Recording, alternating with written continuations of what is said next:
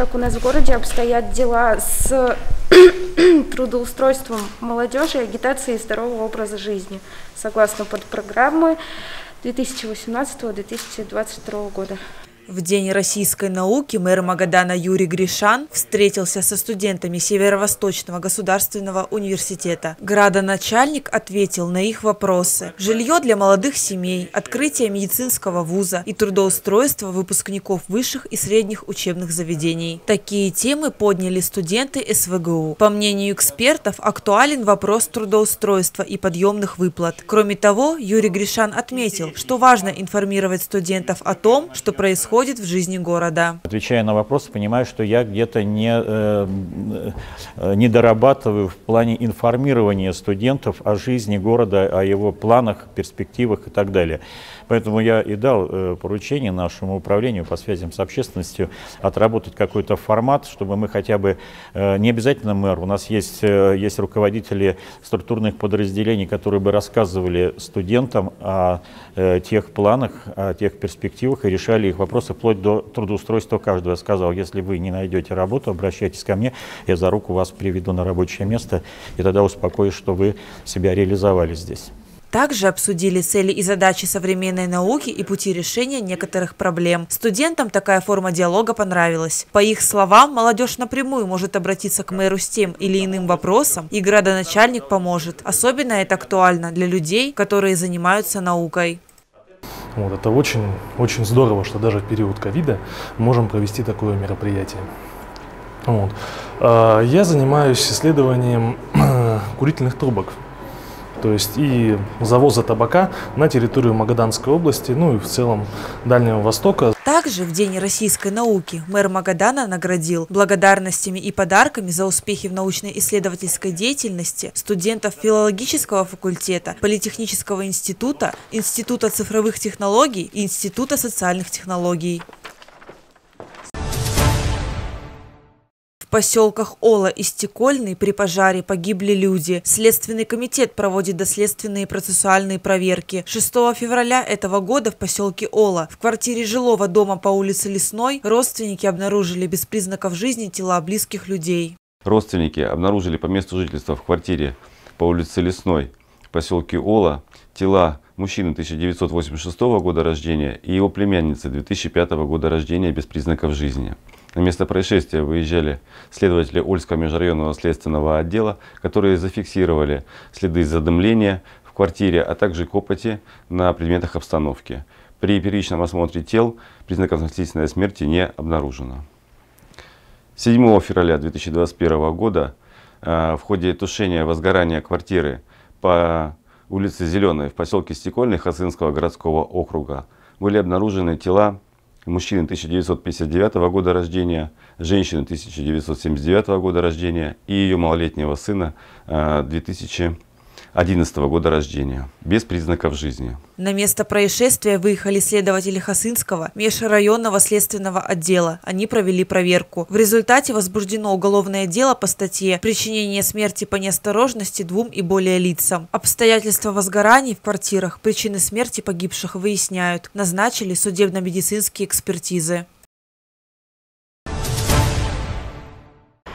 Когда в домах Магадана начнут делать капитальный ремонт. Состояние жилья и плату за этот вид услуги жители областного центра активно обсуждают в социальных сетях. По словам специалистов, в среднем капитальный ремонт в многоквартирных домах требуется раз в 25-30 лет. Выполнение работ зависит от срока службы отдельных конструкций, типа материалов, технологий строительства и наличия бюджета, рассказывают эксперты. Для планирования и организации проведения капитального ремонта и создания благоприятных условий проживания граждан была создана региональная программа «Капитальный ремонт общего имущества многоквартирных домов, расположенных на территории Магаданской области на период по 2044 год». Исполнителями программы являются Министерство строительства, жилищно-коммунального хозяйства и энергетики Магаданской области, а также некоммерческая организация Фонд капитального ремонта Магаданской области. Вечерний Магадан решил выяснить у жителей областного центра, знают ли они, когда в их доме начнется капремонт ремонт.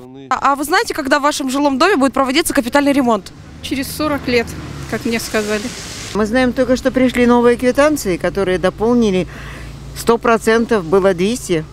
Мы платили за неполные 40 квадратов. Теперь у нас 400. есть- Мы платили всегда вовремя, вовремя, вовремя. Даже вперед у меня оплачено всегда все. Но я не надеюсь и не рассчитываю на это ничего. Ну почему?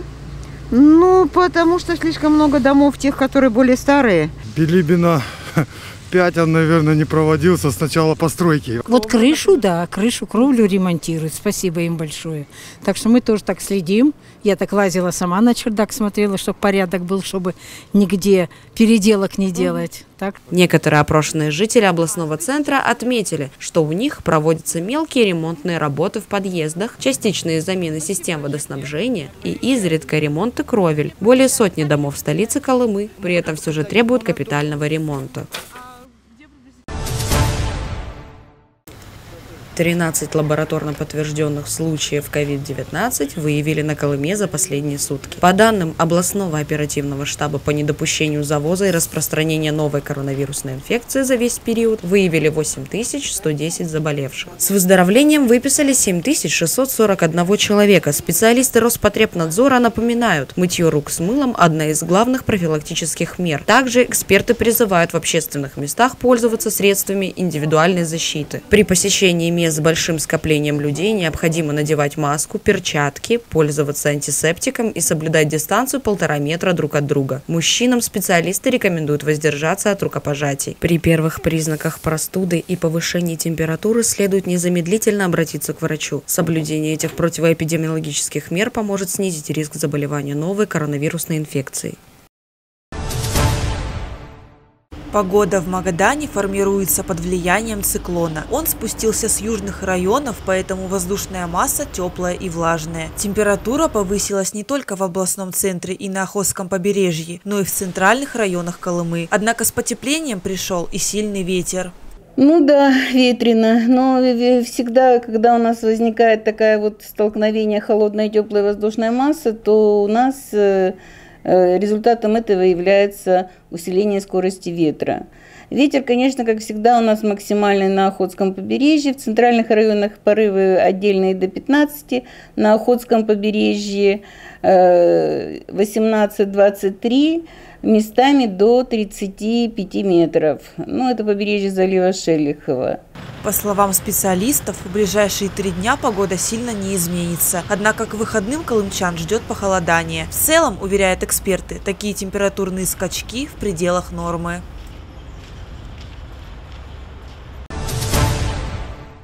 Столице Колымы продолжают реализацию национального проекта «Культура». Городские учреждения уже приступили к выполнению запланированных мероприятий. В рамках проекта пройдет и создание модельной библиотеки на базе детско-юношеского центра чтения. Заявку на участие в проекте руководство учреждения подавало в 2020 году. Она прошла конкурсный отбор и выиграла. Сейчас мы уже э, работаем на стадии заключения договоров. У нас уже часть договоров заключена. Мы в скором времени выйдем на торги, на аукционы. А на эти цели, на реализацию проекта модельной библиотеки выделено из федерального бюджета порядка 5 миллионов рублей. Детско-юношеский центр чтения сейчас работает в рамках дорожной карты. Все сроки по ремонтным работам учреждениям соблюдаются. Также хочу отметить и поблагодарить мэрию города Магадана, которая уже часть э, своего софинансирования произвела. Этим летом у нас было сделано крыльцо по доступности для людей с ограниченными возможностями.